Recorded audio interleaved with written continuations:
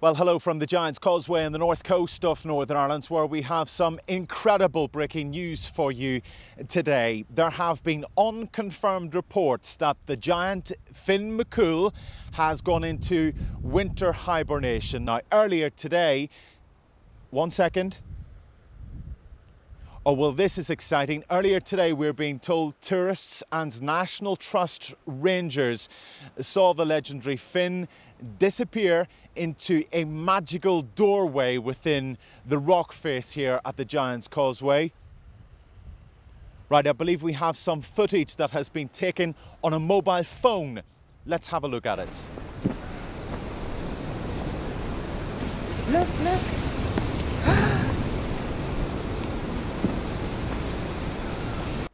Well, that footage is absolutely incredible, isn't it? Well, earlier today, tourists, historians, geologists, architects, and giant experts all congregated here and have been examining the rock face to see if there is indeed any sign of Finn McCool, that legendary and magical giant, uh, in that spot where he disappeared into the rock face. But absolutely no trace, it has to be said, of any doorway or hinges or anything like that.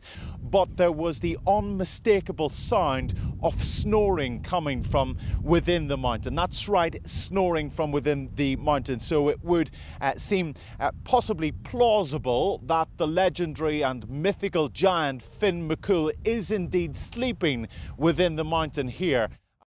Well, I would think he might need a long sleep after this busy summer season. Anybody from along this part of the coast knows that through the summertime you'll regularly see Finn McCool somewhere along the Giant's Causeway. But through the winter time, of course, he's hibernating. Sure, don't all mythological creatures hibernate through the winter? So you'd never even see a leprechaun here in winter time. Uh, that said, these reports are unconfirmed at this stage, but it seems that the giant has gone into hibernation for the winter. Whether we'll see him uh, this side of Christmas remains to be seen.